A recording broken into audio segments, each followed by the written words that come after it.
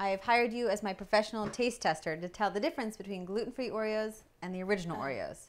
Think you can do it? Yep. Okay. So I already put them on the plate so you can't tell the difference. But I know the difference. Close your eyes. I'm going to give you one. See if you can tell if it's gluten-free or if it's the original. That's gluten free. That's gluten-free? Okay. All right. So you think that first one was gluten-free? Are these double stuff? They are.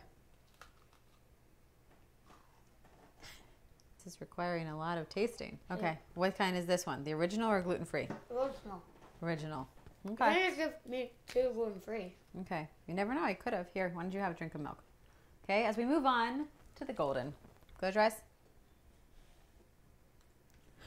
Oh, oh okay. Oh, this is really professional.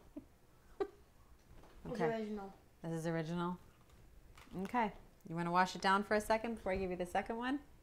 Okay.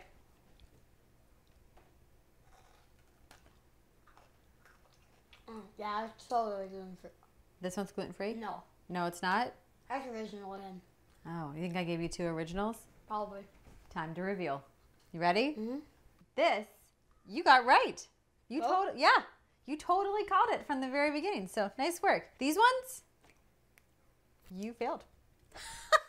you thought I gave you both originals, and I that's that second one that I gave you was gluten free, even after you dissected it. there it is. Thanks for helping out today. Oreos, that's a win for you.